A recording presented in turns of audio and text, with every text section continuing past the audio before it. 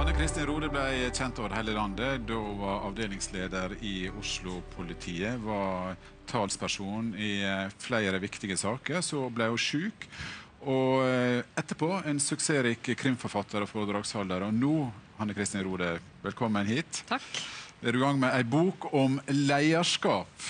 Og så vil du skille mellom det å leie eh, og lederskap. Ja. ja, jeg er veldig opptatt av at vi må bli flinkere til å skille mellom ledelse og lederskap. Ledelse i mitt hode det er teori, eh, forskning, den formalkompetansen folk som ønsker å være ledere, må ha i bånn. Men når man har fått en A eller B på eksamen eh, og kommer med en tung CV og blir ansatt som leder, det er jo da jobben begynner. Da kan man legge bort CV-en, og da må man begynne med selvutvikling. Eh, fordi Det er da lederskapet skal på banen. For lederskap er det som medarbeideren ser mellom klokka åtte og fire, da, for å si det på den måten. Eller i hvert fall i lederens tilstedeværelse på jobben. Eh, da må lederen være interessert i å ta imot både ros og ris, må være flink til å gi ros og ris, må være flink til å tenke hva kan jeg gjøre for å bli den beste utgaven av meg selv. Jeg har vært leder i 20 år, og jeg tror jeg med hånden på hjertet kan si at jeg har brukt alle de dagene, de 20 årene, til å tenke hvordan kan jeg bli en bedre leder. Og Det mener jeg det er det minste man kan gjøre, for det er et veldig stort etisk ansvar å sette seg i den posisjon at man skal lede andre mennesker. Mm. Og som du sier, Det er mange teorier dere kan lese på, eh, men det er ikke de du får så veldig bruk for når du først begynner. Hvordan blir man en god leder da? Det er beinhardt arbeid. Eh, bare for å følge opp det du sa. Eh, jeg har vært leder i 20 år, og jeg har aldri hatt bruk for én eneste ledelsesteori på jobben. Mm. Det jeg har hatt bruk for, er meg. Eh, og da må jeg være villig til å lytte til medarbeiderne. Jeg må være villig til å utvikle og bruke balanse og likeverd på jobben. Jeg må tenke hvordan vil jeg at du skal føle deg i et møte med meg. Jeg må være en prestasjonshjelper, slik at en som i et møte med meg enten det er i heisen eller det er en medarbeidssamtale eller på et møte, føler seg psykisk sterkere, mer kompetent og i stand til å bruke det beste i seg selv også etter vårt uh, hverdagstreff, da, for å si det på den måten. Det er lederskap, og det er sterkt underkommunisert.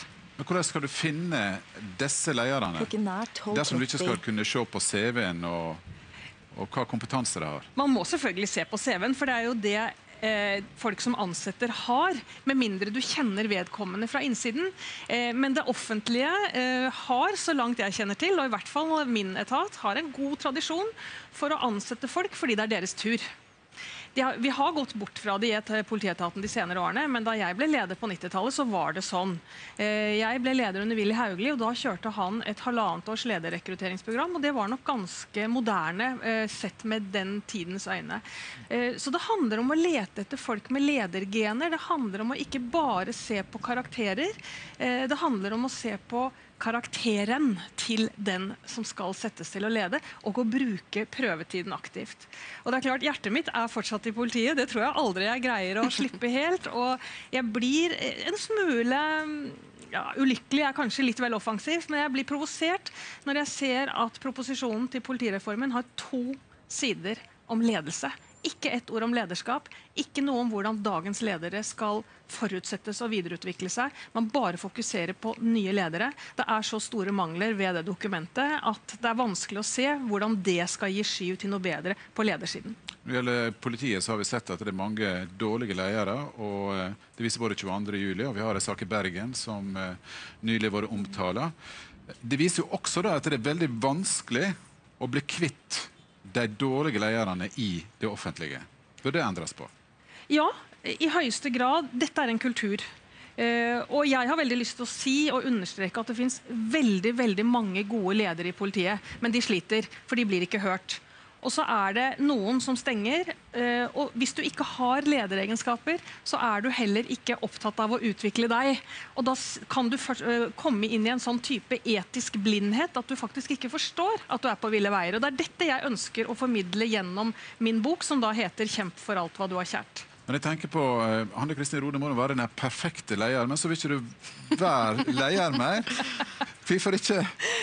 Er en tid for alt. og det er klart at 20 eh, år som leder, jeg har brukt veldig veldig mye av meg selv. Jeg har brukt mange krefter. Jeg har gjort alt jeg kunne for å være den beste utgaven av meg selv, for å være den beste lederen for andre mennesker. For jeg har følt så veldig sterkt på det etiske ansvaret.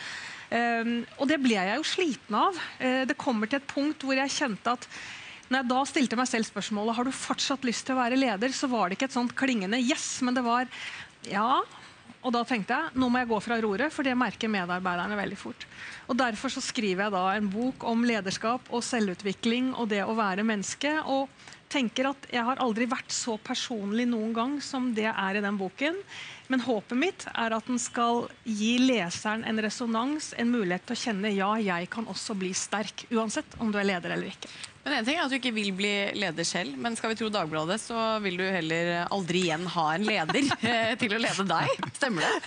Eh, med en liten korreksjon. Jeg har sagt at jeg vil aldri mer ha en sjef. For okay. en sjef er en administrator, Ja. og det er jeg fullstendig ferdig med. Ok. Eh, men en god leder kunne nok kanskje med tiden ha lokket meg utpå igjen, men det får tiden vise. Men det er en liten uh, forskjell i de to tingene. Boka di kommer til høsten, altså, og det er mange ledere som må lese om Ja, det er lederskap. forstår vi. Tusen takk for at du kom til oss. Nå er det mange som gleder seg til høsten, Arild, og jeg tror du også gjør det, for du er stor fan